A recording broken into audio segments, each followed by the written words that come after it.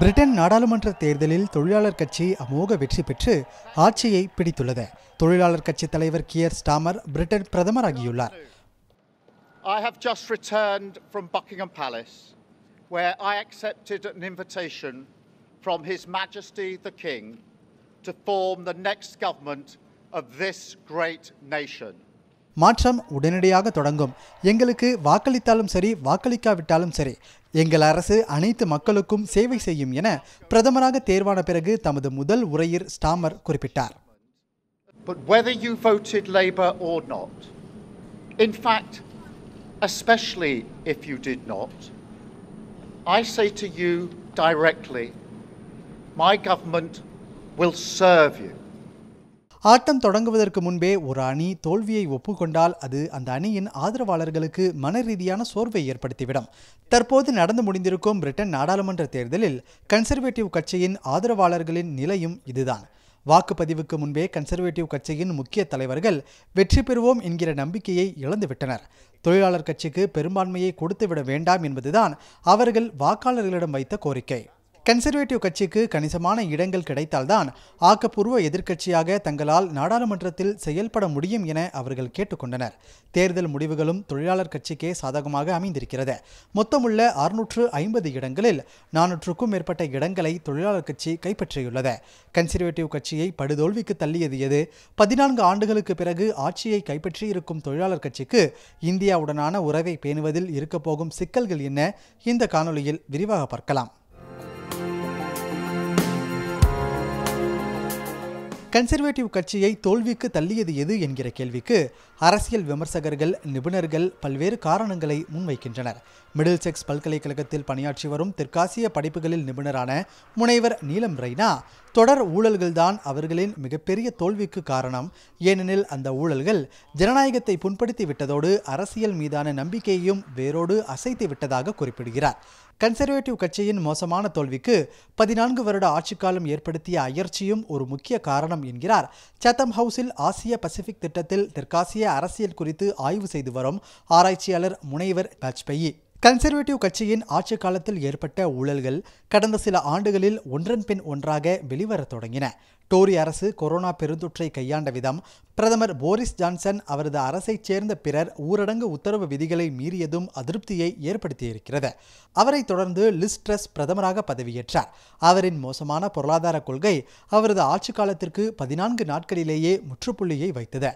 பிறகு ரிஷி சுனக் பிரதமரானார். இந்திய வம்சாவளியைச் சேர்ந்த முதல் பிரிட்டன் பிரதமர் என்கிற பெயரையும் பெற்றார். அவர் ஆட்சியில் கிடுகிடுவென உயர்ந்த விலைவாசி விவாதப் பொருளானது. ரிஷிக்கும் அவரது ஆட்சிக்கும் மிக நெருங்கிய நெருங்கிய வட்டாரத்தில் இருந்த நபர்கள் சூதாட்டத்தில் ஈடுபட்டதும் அரசியல் வட்டாரத்தில் பெரும் சலசலப்பை ஏற்படுத்தியது. தொழிலாளர் கட்சியை முழுமையாக மாற்றியதற்காக அக்கட்சியின் தலைவரும் பிரதமருமான கீர் ஸ்டாமரை கன்சர்வேட்டிவ் கட்சியினரை பாராட்டுகின்றனர். மூத்த கன்சர்வேட்டிவ் கட்சியின் தலைவர் ஒருவர் பிபிசி நிகழ்ச்சி ஒன்றில் பேசியபோது ஜெரிமி கோர்பின் தலைமையில் தொழிலாளர் கட்சி இப்போதும் செயல்பட்டிருந்தால் தேர்தலில் நிச்சயமாக தோல்வியை தழுவியிருக்கும் என கூறினார். கடந்த இரண்டாயிரத்தி பத்தொன்பதாம் ஆண்டு தேர்தல் முடிவுக்கு பிறகு தொழிலாளர் கட்சி இப்படி ஒரு மாபெரும் வெற்றியை பெறும் என்று யாராவது எதிர்பார்த்திருப்பார்களா என்றும் அவர் குறிப்பிட்டார். கோர்பின் தலைமையில் இந்த தொழிலாளர் கட்சி இந்தியாவுக்கு கவலையையே அளித்தது. ஸ்டாமர் தலைமையில் இரண்டாயிரத்தி பத்தொன்பதாம் ஆண்டு நடைபெற்ற கட்சி மாநாட்டில் தீர்மானம் ஒன்று வெளியிடப்பட்டது.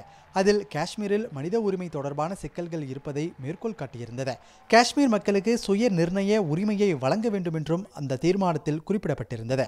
இதை இந்தியா எதிர்த்தது. ஆனால் அக்கட்சியின் முன்னாள் தலைவர் கோர்பினோ இது இந்தியாவுக்கும் பாகிஸ்தானுக்கும் இடையிலான விவகாரம் என கருத்து தெரிவித்திருந்தார். ஆனாலும் அவரது கருத்து இரு நாட்டு உறவிலும் சுமூகமான ஒரு நிலையை எட்ட உதவவில்லை. ஸ்டாமர் இந்தியாவுடனான உறவை மேம்படுத்துவதில் உறுதியாக உள்ளார். அக்கட்சியின் முன்னாள் நாடாளுமன்ற உறுப்பினரான வீரேந்தர் சர்மா இரு நாட்டுக்கும் இடையிலான உறவு ஸ்டாமரின் ஆட்சி காலத்தில் மேம்படும் என குறிப்பிட்டுள்ளார். வீரேந்தர் சர்மா கூறுகையில் கடந்த நாடாளுமன்றத்தில் ஆறு இந்திய வம்சாவளி எம்பிக்கள் இடம்பெற்றிருந்தனர். அவர்களின் பிரதிநிதித்துவம் தற்போது உயரும். ஸ்டாமர் சமநிலையான யதார்த்தவாதி. அவர் இரு நாட்டு உறவு மேம்படுவதை உறுதி செய்வார் என குறிப்பிட்டுள்ளார்.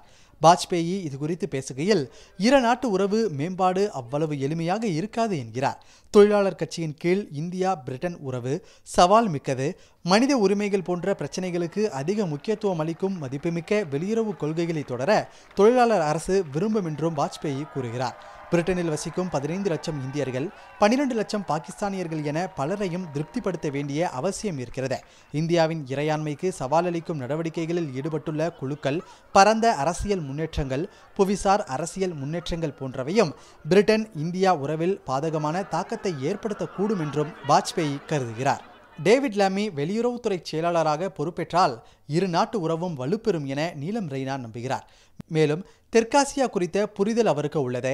இந்தியாவின் தற்போதைய ஆட்சி ஒரு கூட்டணி ஆட்சி என்பதையும் நாம் மறந்துவிடக்கூடாது. இது இரு நாட்டு உறவுகளை அடுத்த கட்டத்திற்கு எடுத்துச் செல்லும்போது சமச்சீராக செயல்பட உதவும் என நீலம் ரெய்னா குறிப்பிடுகிறார். இந்தியாவுடன் தடையற்ற வர்த்தக ஒப்பந்தத்தை ஏற்படுத்துவதே இந்தியாவுடனான உறவை மேம்படுத்தும் ஸ்டாமரின் திட்டத்தில் அதிமுக்கியத்துவம் வாய்ந்ததாக இருக்கும். வெளியுறவுத்துறை செயலாளராக பதவியேற்பார் என எதிர்பார்க்கப்படும் டேவிட் லாமி இந்த ஒப்பந்தத்தை முடிக்க தயாராக இருக்கிறார். ஜூலை இறுதிக்குள் அவர் இந்தியாவுக்கு வர உள்ளதாகவும் ஒப்பந்தத்தில் இருபத்தி ஆறு பிரிவுகளில் ஒருமித்த கருத்து எட்டியுள்ளதாகவும் தெரிய வந்திருப்பதாக வாஜ்பேயி கூறுகிறார். பிரெக்சிட் மூலம் பிரிட்டனில் புலம்பெயர்தல் பிரச்சினை பெருமளவில் குறையும் என எதிர்பார்க்கப்பட்டது. ஆனால் பிரெக்சிட்டுக்கு பிறகு அதிக புலம்பெயர்ந்தோரை கொண்ட நாடாக பிரிட்டன் மாறியுள்ளது. இந்தியாவுடன் தடையற்ற வர்த்தக ஒப்பந்தத்தில் கையெழுத்திடுவதில் உள்ள முட்டுக்கட்டைகளில் ஒன்று. வேலைக்காக பிரிட்டனுக்கு படையெடுக்கும் இந்தியர்களுக்கு அனுமதி வழங்க வேண்டும் என்பதுதான். சட்டப்பூர்வமாக பிரிட்டனில் குடியேறும் நபர்களின் எண்ணிக்கையை கட்டுக்குள் வைப்பது சட்டத்திற்கு புறம்பாக மக்கள் குடியேறுவதை தடுப்பது போன்றவற்றை இலக்காக கொண்டது தொழிலாளர் கட்சி. பிரிட்டனில் பணியாற்றும் இந்தியர்களில் பெரும்பாலானோர் தகவல் தொழில்நுட்ப பிரிவில் பணியாற்றுகின்றனர். சிறிய அளவிலான இந்தியர்கள் சட்டத்திற்கு புறம்பாகவும் பிரிட்டனில் குடியேறுகின்றனர். புலம்பெயர்வோர் எண்ணிக்கையை குறைக்க வேண்டும் என்கிற இலக்கு ஒரு பக்கம் இருந்தாலும் திறமையான புலம்பெயர்ந்தோர் மூலம் கிடைக்கும் பொருளாதார நன்மைகளை சமநிலைப்படுத்த வேண்டும் என்கிற கொள்கையை ஸ்டாமரின் கட்சி கொண்டுள்ளது. தங்கள் நாட்டில் குடியேறியவர்களில் அதிகபட்சமாக இந்தியர்கள் ஆறு லட்சத்து எண்பத்தி ஐந்தாயிரம் பேர் உள்ளதாக பிரிட்டன் கூறுகிறது. தேசிய மருத்துவ சேவை மற்றும் தகவல் தொழில்நுட்பத் துறையை மேம்படுத்த திறமை வாய்ந்த நபர்கள் பிரிட்டனுக்கு தேவை. ஆனால் இந்தியர்களுக்கு மட்டுமின்றி இதர நாட்டினருக்கும் வாய்ப்பு வழங்க பிரிட்டன் விரும்புகிறது.